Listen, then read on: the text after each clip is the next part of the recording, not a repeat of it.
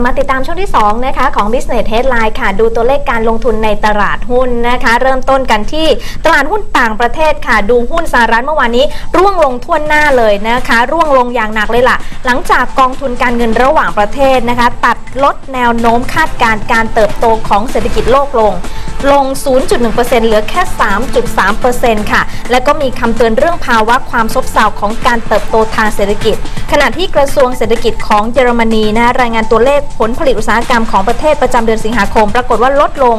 4%ค่ะ ค่ะ แต่ว่าตลาดหุ้นยุโรปปิดปรับตัวบวกได้นะคะ ยังรับเรื่องของตัวเลขเศรษฐกิจ การจ้างงานนอกภาคการเกษตรของสหรัฐที่ปรับตัวเพิ่มขึ้น ถึงแม้ว่าจะมีเรื่องของตัวเลขยอดสั่งซื้อภาคโรงงานของเยอรมนีเดือนสิงหาคมที่หดตัวลงอะนะคะ ก็ทำให้ตลาดหุ้นยุโรปนั้นปรับตัวบวกได้แต่ว่าบวกในกรอบแคบๆค่ะค่ะ ส่วนตลาดหุ้นเอเชียนะคะ ดูเอเชียเช้านี้หน่อยนะคะ ตลาดหุ้นเอเชียปรับตัวลดลงเช่นเดียวกันนะคะ หลังจากที่มีข่าวจาก IMF ปรับลดคาดการเศรษฐกิจโลกลงนะคะ แล้ว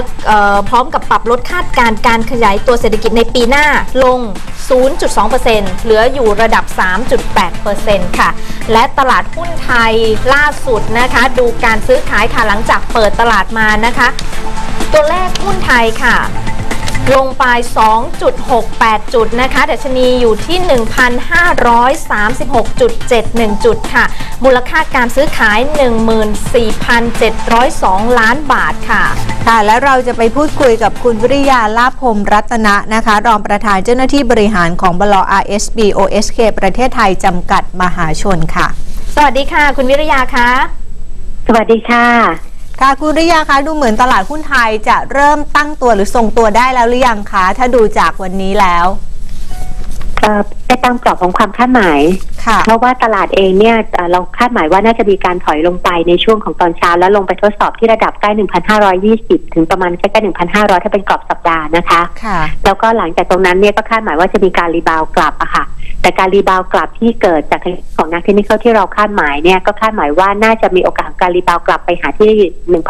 1,560 ถึง 1,500 ไม่เกินก่อนค่ะ ค่ะ ถ้าหากมองแล้วเนี่ยนะคะทิศทางตลาดหุ้นไทยนั้นน่าที่จะเริ่ม rebound กลับขึ้นมาได้ ซึ่งแสดงว่าการปรับฐานน่าจะสิ้นสุดลงแล้วหรือเปล่าคะการปรับฐานเราคิดว่ายังคงดำเนินอยู่นะคะ เพราะว่าค่ะตลาดเองขาดปัจจัยชี้นำใหม่เพียงแต่ว่าในลักษณะ ตลาดที่มีการปรับตัวลดลงค่อนข้างเร็วเนี่ยถ้าเปรียบเทียบกับในช่วงของปลายสัปดาห์ก่อนกับกลางสัปดาห์นี้ น่าจะทำให้ตลาดเองอาจจะเริ่มชะลอการถอยลง เพียงแต่ว่ากรอบของปัจจัยพื้นฐานใหม่นี้ไม่ได้มีมากนัก แล้วก็ในช่วงของสัปดาห์หน้าเราจะเริ่มเข้าสู่โซนผลประกอบการนะคะค่ะเองที่มีการปรับตัวลดลงไปค่อนข้างเยอะอย่างเช่นหุ้นในกลุ่มของธนาคารพาณิชย์เองเนี่ยก็จะเริ่มมีแรงซื้อค่ะค่ะค่ะและในส่วนของหุ้นกลุ่มพลังงานล่ะคะ อย่างตัวปตทเองรู้สึกว่าก็จะมีแรงขายทำกำไรกันออกมาบ้าง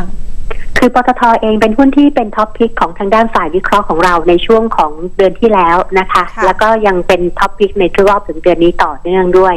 ทีนี้ระดับราคาหุ้นเองเนี่ยในโซนของการปรับตัวขึ้นไปเนี่ยถ้าเปรียบเทียบกับปัจจัยพื้นฐานยังมีอัพไซด์เพราะว่าเขายังมีการปรับไอ้ตัวมูลค่าเหมาะสมขึ้นไปอยู่ใกล้ๆประมาณ 390 กว่านะคะระดับราคาของหุ้นปตทยังมองเป็นอัพไซด์อยู่ในเชิงของปัจจัยพื้นฐาน แล้วก็ในเชิงของทางด้านเทคนิคด้วยเพียงแต่ว่าในกรอบเมื่อวานนี้เนี่ยจะเห็นได้ว่าหุ้นปตทเองเริ่มมีการปรับตัวพักฐานลงมาค่ะค่ะ แต่ก็ยังสามารถที่จะมีโอกาสปรับตัวขึ้นได้สำหรับปตทนะคะ ถ้ามองถึงปัจจัยรอบด้านตอนนี้นะคะ ปัจจัยภายนอกดูดูแล้วทิศทางเนี่ยไม่ค่อยจะสดใสอย่างความกังวลเรื่องของการปรับขึ้นอัตราดอกเบี้ยของเฟดนั้นก็ดูเหมือนว่าจะกลับมาอีกครั้งหนึ่งตรงนี้คุณวิริยาประเมินยังไงคะเทรนด์อัตราดอกเบี้ยของสหรัฐอเมริกาเนี่ยเป็นเทรนด์ที่ถูกพูดมาตลอดรอบตั้งแต่ต้น ค่ะจนกระทั่งณปัจจุบัน ทีนี้ในกรณีของการที่จะต้องมีการเอ่อรายงานผลประชุมเฟดที่จะต้องมีในช่วงของท้ายสัปดาห์นี้เนี่ยก็เป็นสิ่งสิ่งที่ต้องติดตามว่าเทรนด์ของอัตราดอกเบี้ยเนี่ยจะมีการปรับขึ้นอยู่ในกรอบเวลาไหนในปีหน้าค่ะซึ่งในช่วงที่ผ่านมาเนี่ยมีตั้งไตรมาสที่หนึ่งจนถึงไตรมาสที่สามของปีหน้าค่ะค่ะ ดังนั้นถ้าสมมติเทรนด์ของอัตราดอกเบี้ยอยู่ในกรอบคาดหมายว่าจะมีการปรับในทิศทางที่เป็นทางขึ้นเร็วนักเนี่ย ก็จะมีผลต่อการเอ่อ แต่งตัวหรือการหมุนของเม็ดเงินในทั้งโซนภูมิภาคแล้วก็บ้านเราด้วยค่ะอืมค่ะค่ะคำแนะนำสำหรับนักลงทุนในวันนี้ค่ะเอ่อวันนี้เนี่ยเราก็มองว่าตลาดเองอาจจะมีการ rebound กลับระยะสั้นนะคะ แต่ว่ากรอบไม่เกิน 1,550 ก่อน แล้วก็หุ้นที่อาจจะมีการ rebound กลับตามเทคนิคที่เขาให้ไว้ในช่วงตอนเช้า โดยส่วนใหญ่เป็นหุ้นที่ปรับตัวลงมาค่อนข้างแรงในช่วงที่ผ่านมา แล้วก็หวังว่าโอกาสลงมาทดสอบแนวรับก็น่าจะมีโอกาสการดีดกลับอะค่ะค่ะอย่างเช่นตัว TTA เมื่อเช้านี้เขา ว่าถ้าอ่อนตัวลงมาหาที่ระดับประมาณ 21 บาท 10 ถึงประมาณใกล้ 20 บาท 10 ก็เป็นจุดของการตั้งรับเพื่อหวังของการดิดกลับระยะสั้น ๆ นะคะ ค่ะ วันนี้ขอบคุณมากค่ะ กุริยาค่ะ ค่ะ สวัสดีสค่ะวัสดีค่ะ กุริยาลาภพรหมรัตนานะคะ รองประธานเจ้าหน้าที่บริหารของบล ISB OSK ประเทศไทยจำกัดมหาชนค่ะเมื่อกี้ผิดพลาดนิดนึงนะคะ ในส่วนของตลาดหุ้นยุโรปนั้น ปิดปรับตัวลดลงทั้ง 3 ตลาดนะคะค่ะไม่ว่าจะเป็นฟุตซี่ร้อย CAC 40ฝรั่งเศสนะคะ ปรับลงไปค่อนข้างแรงเปอร์เซ็นต์กว่าๆด้วยนะคะ เพราะว่ารับเรื่องของตัวเลขยอดสั่งซื้อภาคโรงงานของเยอรมนีในเดือนสิงหาคมที่หดตัวลงไป 5.7%และรับมาจากดาวโจนส์ที่ร่วงลงไป 200 กว่าจุดด้วยค่ะส่วนหุ้นในบ้านเราดูเป็นรายตัวก็แล้วกันนะคะ รู้สึกจะมีความเคลื่อนไหวเฉพาะในหุ้นกลุ่มใหญ่ๆ หุ้นกลุ่มธนาคารมีความเคลื่อนไหวเยอะนะคะ แล้วก็กรอบที่ให้มาดูก่อนที่ 1,550 จุดนะคะ กรอบแรก ใช่ค่ะ แล้วก็ลงทุนด้วยความระมัดระวังนะคะ วันนี้หมดเวลาแล้วสำหรับ Business Headline นะคะ เราทั้งสองคนลาไปก่อนนะคะ สวัสดีสวัสดีค่ะค่ะ